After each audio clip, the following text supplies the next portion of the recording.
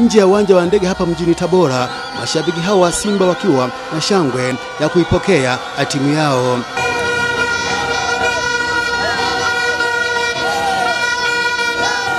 Meneja wa wekundu hao wa Msimbazi eh, Patrick Lweyamam anasema kuwa timu hiyo imekuja na wachezaji 24, makocha wote na viongozi eh, kumi na wanne. Siku zote tunamtanguliza Mwenyezi Mungu katika, katika kudra zake. Ni kwamba tumefika salama salmini eh, baada ya kutoka Dar es Salaam asubuhi ya leo, na tumekuja na kikosi cha takriban wachezaji 24 na technical staff takriban 14.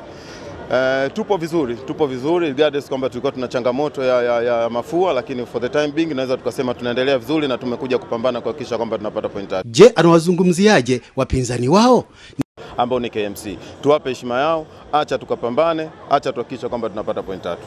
E, timu ya Simba ni timu ya nchi nzima, ni timu ya nchi nzima. Kwa maana hiyo ni kwamba tunaamini wanatabora waje waishangilie timu yao, waje wajiandae kuhakikisha kwamba tunakuja kuwapa burudani, waje waone kwa nini tumekuja kupambana, na mwisho wa siku tunataka kupata point tatu. Kwa hiyo support yao vile vile tunahitaji. Baada ya muda mrefu, mashabiki wa soka hapa Tabora wataona mchezo wa ligi kuu ukichezwa kwenye ardhi yao, na mchezo huu ni kama neema kwao, kwa sababu hapa hawana timu ya ligi kuu.